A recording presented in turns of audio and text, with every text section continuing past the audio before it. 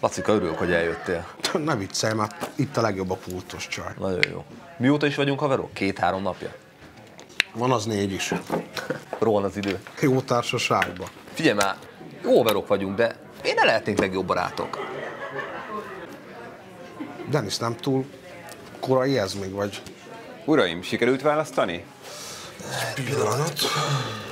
Uh, én kérek egy Majonézes burgonya salátát, szezámmagos csirke mellett, és két szelet kenyért.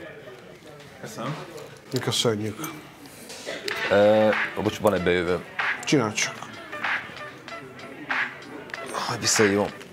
Na figyelj, ö, Bocs most meg. Murphy. Visszajön. jó ez a haverság, de legyünk legjobb barátok.